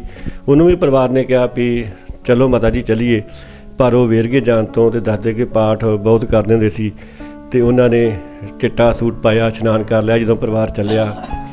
ਤੇ ਮੁੜ ਕੇ ਉਹਨਾਂ ਦੇ ਪਿੰਡ ਤੋਂ ਕਿਉਂਕਿ ਕਈ ਬੰਦੇ ਬਾਅਦ ਦੇ ਵਿੱਚ ਵੀ ਆਏ ਸੀ ਦੱਸਦੇ ਵੀ ਉਹਨੇ ਮੰਜੇ ਤੇ ਲੰਮੇ ਪੈ ਗਏ ਤੇ ਚਿੱਟੀ ਚਾਦਰ ਲੈ ਗਈ ਤੇ ਉੱਥੇ ਹੀ ਜਿਹੜੇ ਸਵਾਸ ਸੀ ਤਿਆਗ ਤੇ। ਤੇ ਜਦੋਂ ਸਾਡੀ ਦਾਦੀ ਜੀ ਨੂੰ, ਉਹਨਾਂ ਨੇ ਆਪਦੇ ਮਾਤਾ ਦੀ ਜੀ ਦੀ ਯਾਦ ਆਉਣੀ ਤੇ ਉਹ ਭੁੱਬੀ ਰੋ ਪੈਂਦੇ ਸੀ, ਉਹਨਾਂ ਦੇ ਮਨ ਦੇ ਵਿੱਚੋਂ ਜਿਹੜੀ ਹੂਕ ਨਿਕਲਦੀ ਸੀ ਤੇ ਉਹ ਹੂਕ ਸੁਣ ਕੇ ਪਤਾ ਲੱਗਦਾ ਸੀ ਕਿ ਜਿਹੜੀ ਇਹ ਵੰਡ ਹੋਈ ਆ ਜਿਹਨੂੰ ਸਾਡੇ ਬਜ਼ੁਰਗ ਰੌਲਾ ਰੱਪਾ ਕਹਿ ਦਿੰਦੇ ਆ, ਉਸ ਵੇਲੇ ਦੇ ਰੌਲੇ ਪਏ ਸੀਗੇ ਕਿ ਉਹਨਾਂ ਦਾ ਦਰਦ ਕਿੰਨਾ ਸੀ ਤੇ ਹੁਣ ਜਿਵੇਂ ਮਾਤਾ ਜੀ ਨੇ ਵੀ ਦੱਸਿਆ ਕਿ ਇਹਨਾਂ ਦੇ ਦਾਦਾ ਦਾਦੀ ਉੱਥੇ ਰਹਿ ਗਏ। ਤੇ ਇਸੇ ਤਰ੍ਹਾਂ ਪਰਿਵਾਰਾਂ ਦੇ ਇਕੱਲੇ ਬਜ਼ੁਰਗ ਜੀ ਨਹੀਂ ਰਹੇ। ਕਈ ਰਾਹ 'ਚ ਰਹਿ ਗਏ ਕੱਟਵੜ ਦੀ ਭੇਡ ਚੜ ਗਏ ਤੇ ਕਈ ਫਿਰ ਇਸ ਤਰ੍ਹਾਂ ਵਿਛੜ ਵੀ ਗਏ। ਅੱਜ ਵੀ ਜਦੋਂ ਅਸੀਂ ਪਿੰਡਾਂ ਦੇ ਵਿੱਚ ਜਾਂਦੇ ਆ ਤੇ ਸਾਨੂੰ ਪਿੰਡ ਵਾਲੇ ਜਿਹੜੇ ਬਜ਼ੁਰਗ ਨੇ, ਉਹ ਸਮਿਆਂ ਦੇ ਨੇ, ਉਹ ਜ਼ਰੂਰ ਆਪਣੀ ਜੰਮਣ ਭੋਏ ਨੂੰ ਦੇਖਣਾ ਚਾਹੁੰਦੇ ਨੇ। ਤੇ ਹੁਣ ਆਪਾਂ ਸੋਸ਼ਲ ਮੀਡੀਆ ਤੇ ਵੀ ਦੇਖਦੇ ਆ ਤੇ ਜਿਹੜੇ ਸਾਡੇ ਵੀਰ ਲੈਂਦੇ ਪੰਜਾਬ ਦੇ ਵਿੱਚ ਨੇ ਤੇ ਜਿਹੜੇ ਇਧਰੋਂ ਗਏ ਨੇ, ਉਹਨਾਂ ਦੀ ਵੀ ਇਹੀ ਖਾਸ਼ ਹੁੰਦੀ ਆ ਕਿ ਅਸੀਂ ਜ਼ਰੂਰ ਆਪਣੀ ਜੰਮਣ ਭੋਏ ਦੇਖ ਕੇ ਆਈਏ ਜਾਂ ਆਪਣੇ ਪਿੰਡ ਦੇਖ ਕੇ ਆਈਏ। ਤੇ ਥੋੜੇ ਦਿਨ ਹੋ ਗਏ ਮੈਨੂੰ ਪਾਕਿਸਤਾਨ ਤੋਂ ਇੱਕ ਫੋਨ ਵੀ ਆਇਆ ਸੀ ਕਿ ਉਹਨਾਂ ਦਾ ਪਿੰਡ ਬਟਾਲੇ ਦੇ ਲਾਗੇ ਬਸੰਤਕੋਟ ਹੈ। ਉਸ ਪਿੰਡ ਦੀ ਜਿਹੜੀ ਵੀਡੀਓ ਬਣਾ ਕੇ ਭੇਜੀ ਜਾਵੇ ਜ਼ਰੂਰ ਅਸੀਂ ਕੋਸ਼ਿਸ਼ ਕਰਾਂਗੇ ਅਹ, ਕਿ ਉਸ ਪਿੰਡ ਦੀ ਵੀਡੀਓ ਬਣਾ ਕੇ ਅਹ, YouTube ਤੇ ਦਿਖਾਉਣ ਦੀ ਜਿਹੜੀ ਕੋਸ਼ਿਸ਼ ਕਰਾਂਗੇ। ਤੇ ਉਹਨਾਂ ਨੇ ਦੱਸਿਆ ਕਿ ਸਾਡਾ ਜਿਹੜਾ ਦਾਦਾ ਉਸ ਟਾਈਮ ਤੇ ਬਸੰਤਕੋਟ ਦਾ ਨੰਬਰਦਾਰ ਸੀਗਾ।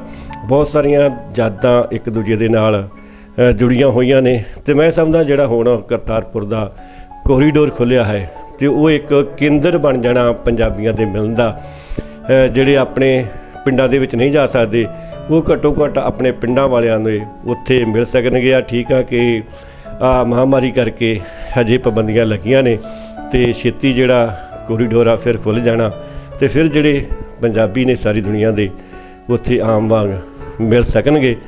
ਇਹ ਮੈਂ ਸਮਝਦਾ ਕਿ ਜਿਹੜਾ ਕੋਰੀਡੋਰ ਆ, ਉਹ ਪੰਜਾਬੀਆਂ ਦੇ ਵਾਸਤੇ ਬਹੁਤ ਵਧੀਆ ਸਾਬਤ ਹੋਣਾ ਕਿ ਜਿੱਥੇ ਉਹ ਬਹਿ ਕੇ ਆਪਣੇ ਦੁੱਖੜੇ ਜਿਹੜੇ ਇੱਕ ਦੂਜੇ ਨਾਲ ਸਾਂਝੇ ਕਰ ਸਕਦੇ ਨੇ ਤੇ ਨਵੀਆਂ ਸਾਂਝਾਂ ਦਾ ਜਿਹੜਾ ਆਗਾਜ਼ ਆ, ਉਹ ਕਰ ਸਕਦੇ ਨੇ। ਤੇ ਮਾਤਾ ਜੀ ਤੁਸੀਂ ਹੋਰ ਕੋਈ ਵਿਸ਼ੇਸ਼ ਤੌਰ ਤੇ ਕੋਈ ਗੱਲਬਾਤ ਕੋਈ ਕਰਨਾ ਚਾਹੁੰਦੇ ਹੋ, ਕੋਈ ਤੁਹਾਡੇ ਮਨ ਦੇ ਵਿੱਚ ਹੋਵੇ, ਕੋਈ ਬਚਪਨ ਦੀ ਯਾਦ ਜਾਂ ਕੋਈ ਬਾਅਦ ਬਾਅਦ ਦੀ ਕੋਈ ਅਜਿਹੀ ਯਾਦ ਹੋਵੇ? ਨਾ ਜੀ ਉਹ ਤੇ ਕੋਈ ਯਾਦ ਨਹੀਂ ਹੈ ਹੁਣ ਜੀ। ਉਹ ਜਿਹੜੀ ਛੋਟੀਆਂ ਮੋਟੀਆਂ ਗੱਲਾਂ ਉਹ ਤਾਂ ਭੁੱਲ ਹੀ ਜਾਂਦੇ ਗਾੜੇ ਜੀ। ਤੇ ਬਸ। ਨਾਨਕੇ ਆਏ ਆ ਤੇ ਇੱਥੇ ਬਸ ਨਾਨੀ ਨਾਨਾ ਹੀ ਸੀ। ਜੀ। ਨਾਨਾ ਮਤਲਬ ਆਪਣਾ ਤੇ ਨਾਨਾ ਨਹੀਂ ਸੀ ਹੈਗਾ ਉਹ ਤੇ ਗੁਜ਼ਰ ਗਏ ਸੀ। ਨਾਨੇ ਦਾ ਛੋਟਾ ਭਰਾ ਸੀ। ਤੇ ਪਹਿਲਾਂ ਨਾਨਾ ਹੀ ਹੋਇਆ ਉਹ ਵੀ। ਜੀ। ਤੇ ਨਾਨੀ ਜਿਉਂਦੀ ਸੀ। ਨਾਨੀ ਨੇ ਬਥੇਰੀ ਸੇਵਾ ਕੀਤੀ ਬਥੇਰਾ ਦੇ ਕੇ ਉਹਨਾਂ ਸਾਨੂੰ ਫਿਕਰ ਲਿਆ ਜਦੋਂ ਪਾਕਿਸਤਾਨ ਬਣਿਆ ਗੱਡਾ ਲੱਦ ਕੇ ਉੱਤੇ ਪੇਟੀ ਰੱਖੀ ਸਮਾਨ ਰੱਖਿਆ ਮਿਸਤਰੇ ਰੱਖੇ ਉਹਨਾਂ ਨੇ ਆਖਿਆ ਵੀ ਘਰੋਂ ਤੇ ਲੈ ਜਾਓ ਹਾਂ, ਤਾਂ ਅੱਗੋਂ ਜੇ ਮਿਲ ਜਾਣਗੇ ਤੇ ਉਹ ਵੀ ਲੈ ਲਿਓ। ਸੋ ਸਰੋਤਿਓ ਇਹ ਸੀ ਮਾਤਾ ਜੀ ਜਿਨ੍ਹਾਂ ਦੇ ਆਪਾਂ ਨਾ- ਜਿਨ੍ਹਾਂ ਦੇ ਨਾਲ ਆਪਾਂ ਗੱਲਾਂ ਬਾਤਾਂ ਉਸ ਵੰਡ ਵੇਲੇ ਦੀਆਂ ਸਾਂਝੀਆਂ ਕੀਤੀਆਂ ਤੇ ਉਹਨਾਂ ਨੇ ਆਪਣੇ ਨਾਲ ਬਚਪਨ ਦੀਆਂ ਜਿਹੜੀਆਂ ਸਾਂਝਾਂ ਨੇ, ਉਹ ਵੀ ਪਾਈਆਂ। ਤੇ ਸੋ ਸਰੋਤਿਓ, ਇਹ ਸੀ ਪ੍ਰੋਗਰਾਮ ਵਗਦੇ ਪਾਣੀ ਤੇ ਇਸ ਪ੍ਰੋਗਰਾਮ ਦੇ ਤਹਿਤ ਸਾਡੀ ਕੋਸ਼ਿਸ਼ ਹੋਏਗੀ ਕਿ ਵੱਖ-ਵੱਖ ਉਹਨਾਂ ਇਨਸਾਨਾਂ ਦੇ ਨਾਲ ਮਿਲਿਆ ਜਾਵੇ, ਜਿਨ੍ਹਾਂ ਨੇ ਬਹੁਤ ਸਾਰੀ ਲੰਮੀ ਜ਼ਿੰਦਗੀ ਹੰਡਾਈ ਆ, ਉਹਨਾਂ ਦੇ ਆਪਣੇ ਤਜਰਬੇ ਨੇ। ਉਹ ਜਿਹੜੇ ਨੌਜਵਾਨ ਪੀੜ੍ਹੀ ਦੇ ਨਾਲ ਸਾਂਝੇ ਕੀਤੇ ਜਾਣ। ਤੇ ਇਸ ਪ੍ਰੋਗਰਾਮ ਦੇ ਵਿੱਚ ਅਸੀਂ ਜਿਹੜੀ ਵੰਡ ਦਾ ਦਰਦ ਹੈ, ਉਹ ਵੀ ਬਿਆਨਣ ਦੀ ਕੋਸ਼ਿਸ਼ ਕਰਿਆ ਕਰਾਂਗੇ, ਉਹਨਾਂ ਇਨਸਾਨਾਂ ਨੂੰ ਵੀ ਮਿਲਣ ਦੀ ਕੋਸ਼ਿਸ਼ ਕਰਿਆ ਕਰਾਂਗੇ। ਤੇ ਨਾਲ ਦੀ ਨਾਲ ਜੋ ਸਮਾਜ ਵਾਸਤੇ ਇਸ ਵੇਲੇ ਨਵੀਆਂ ਪਿਰਤਾਂ ਪਾ ਰਹੇ ਨੇ, ਉਹਨਾਂ ਨੂੰ ਵੀ ਮਿਲਿਆ ਕਰਾਂਗੇ। ਸੋ ਸਰੋਤਿਓ, ਸਾਨੂੰ ਦਿਓ ਇੱਥੇ ਹੀ ਆ ਗਿਆ ਸਤਿ ਸ੍ਰੀ ਅਕਾਲ।